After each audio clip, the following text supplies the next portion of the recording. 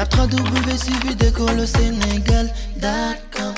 À école au Sénégal, c'est facile, tu n'as qu'à te connecter. École au Sénégal, les leçons sont beaucoup plus détaillées. Voilà, c'est M. Boy. On est toujours sur la proposition de correction du bac 2023. Et là, donc, on est au niveau de la cinquième question. On a déjà montré comment étudier la dérivabilité en 0 moins. Maintenant, on va passer à la dérivabilité en 0 plus. Dérivabilité de f, bien sûr, en 0 plus. Maintenant, on va voir l'intervalle qui contient 0 plus, c'est cet intervalle-là. Et l'expression correspondante est là.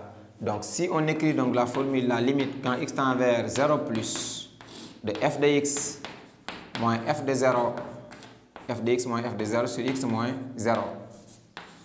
Ceci dit que c'est la limite quand x tend vers 0 plus barre de fraction.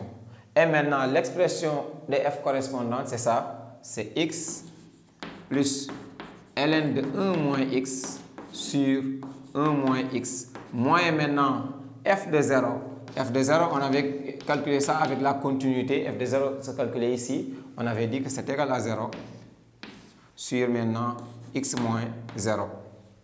Évidemment, on avait dit que, donc comme la fonction f était continue aussi, donc cette limite au niveau du numérateur égale à 0, la limite du dénominateur égale à 0, par quotient, donc on a une fi. Maintenant, pour contourner la forme indéterminée ou bien lever la forme indéterminée, on va calculer la limite quand x tend vers 0 plus. Et maintenant, on va faire une seule barre de fraction. Au niveau du numérateur, on a x plus ln de 1 moins x.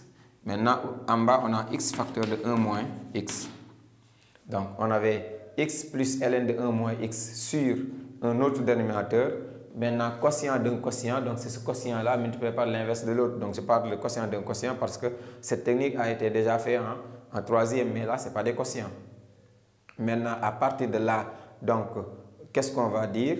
Donc, on va dire plus x plus ln de 1 moins x sur x facteur de 1 moins x. Qu'est-ce qu'on va essayer de voir? Donc, on va essayer d'appliquer cette méthode-là pour avoir un seul dénominateur. Si on a un seul dénominateur, même technique avec ce qui s'est passé à gauche, on va essayer de scinder donc l'expression en deux. Ça veut dire que ce, terme du numérateur-là va avec le dénominateur, ce terme aussi va avec son dénominateur.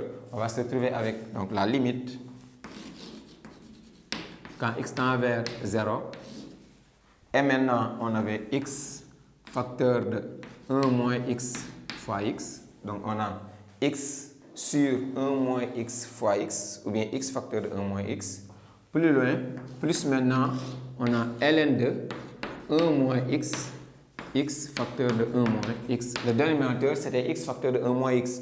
Donc, j'ai scindé le numérateur en deux. Et maintenant, donc, qu'est-ce qu'on va essayer de voir? On va dire que, donc, on est à en 0 plus.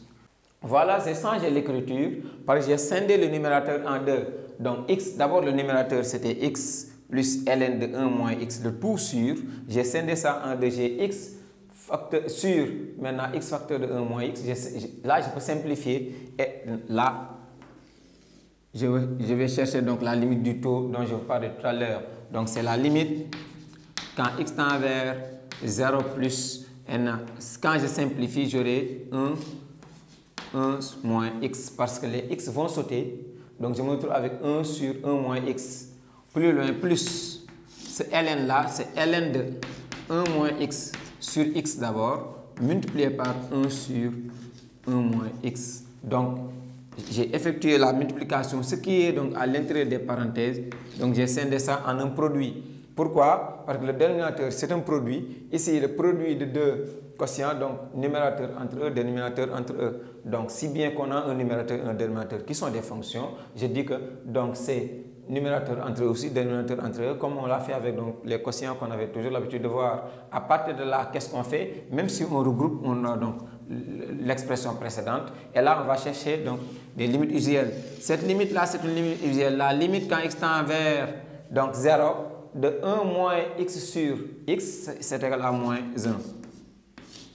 Donc, vous avez vu cette limite-là dans, dans, dans le cours, que la limite quand x tend vers 0, de ln de 1 moins x sur x égale à donc, moins 1. Donc, ça a été déduit de la, de, la limite quand x tend vers 0, de ln de 1 plus x de tout sur x. Donc, vous avez donné cette limite usuelle-là en démontrant Donc en utilisant donc la limite du taux, on l'a démontré. Donc ça veut dire que étude de dérivabilité, cette fonction est dérivable en posant u de x égale à ln de 1 moins x. On va remarquer que c'est la limite quand x tend vers 0 de u de x moins u de 0 sur x moins 0 qui est égal à u' de 0. u' de 0, ça va donner moins 1 sur 1 moins x qui est égal à moins.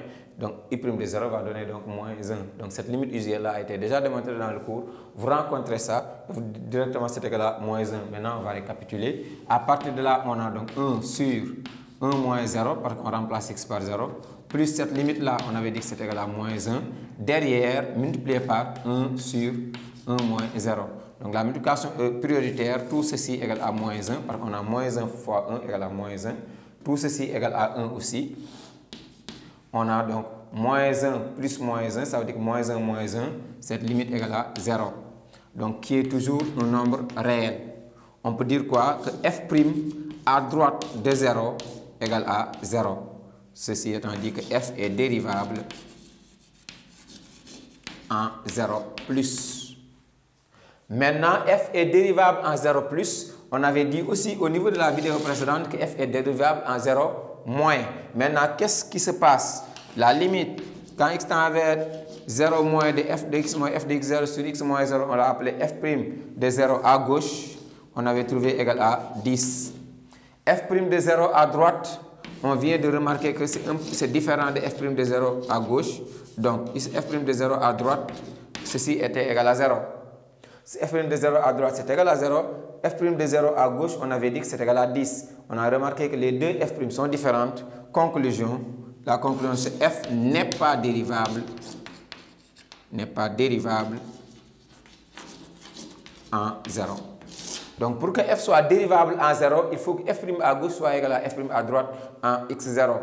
Donc par comparaison avec la continuité, pour la continuité en 0, dès que la fonction est continue à gauche et à droite de 0, la fonction est continue. Maintenant, pour la dérivabilité, on vient de remarquer que pourtant cette fonction est dérivable en 0 moins, cette fonction est dérivable en 0 plus, mais cette fonction n'est pas dérivable parce que f' à gauche est différent de f' à droite. C'est là on avait parlé de demi-tangente. L'interprétation géométrique, parce qu'on dit au niveau de l'énoncé, donc étudier la dérivabilité et interpréter géométriquement ces résultats.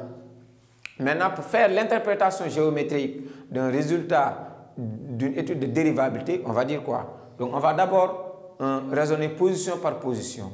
La limite quand x tend vers 0 moins de f de x moins f de 0 sur x moins 0, on l'a appelé, donc 0 moins, on l'a appelé f' à gauche, on a trouvé 10.